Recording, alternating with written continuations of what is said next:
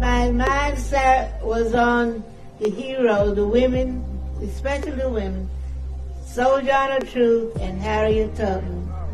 So I, I was not going to move that All day. right. I told them that history had me glued to the seat.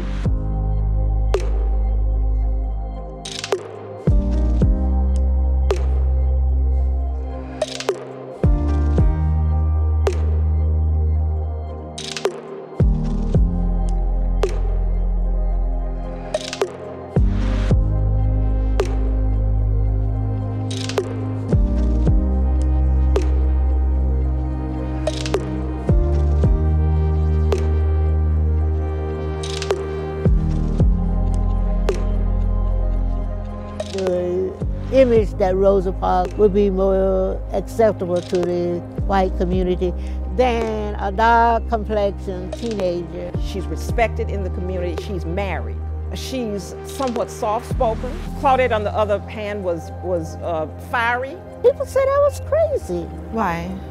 because I was a 15 years old and was defiant and was shouting it's my constitutional rights.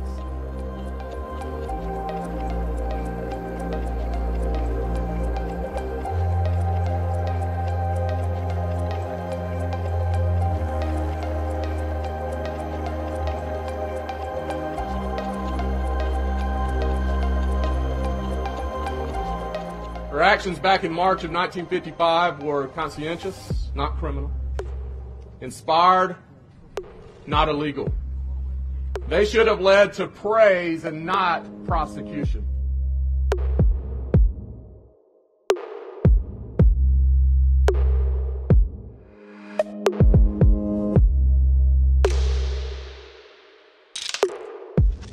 You just have to inspire the people that you know to keep on pushing and keep the struggle going because it is not over. That's right. We still have to continue to fight for our freedom and our and our our rights.